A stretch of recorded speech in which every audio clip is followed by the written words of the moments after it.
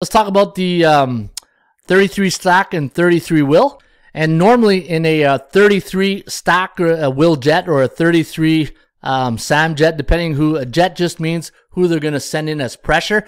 But when you think of 33 stack, basically the, the, the, anytime you face a 30 front team it gives the offense coordinators nightmare i used to say I, I, used to never sleep during the week when i used to face a 30 front because it always mess up the guard on who they're blocking right defensive ends um, you know tackles are always on the ends normally uh, but when, when the guards see that nobody's on them and they don't know who they're blocking it could really uh, mess up uh, the offensive guard in an offense 33 stack just means you got uh, three down linemen, three linebackers, and they're stacked over the down linemen. And, you know, you can do anything. You can have the defensive end twist in. You can have the linebacker come out. Same thing over here. Let's say you go wave right on the defensive line. So all the defensive linemen are going to wave to the right. And then, you know, the linebackers come to the left. Those are things that uh, you'll see in a 33 stack.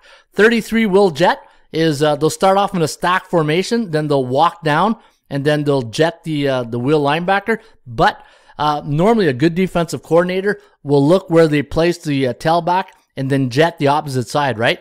So in a situation like this, I would walk down the Sam and then jet him inside, and I'd have the uh, the end come into the B gap right here to shorten the uh, the edge right here to get the uh, the pressure on the quarterback.